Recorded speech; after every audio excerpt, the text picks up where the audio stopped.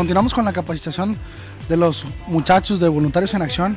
Es el proyecto muy emprendedor que nuestro señor alcalde y nuestro señor secretario ha bien impuesto para poder impulsar la carrera de rescatista. Así es como se comienza en las instituciones de emergencias, siendo voluntario.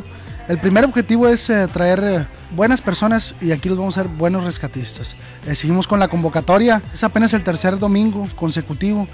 Van las pláticas de introducción y si no se empe- ha comenzado con un tema de en específico de enseñanza.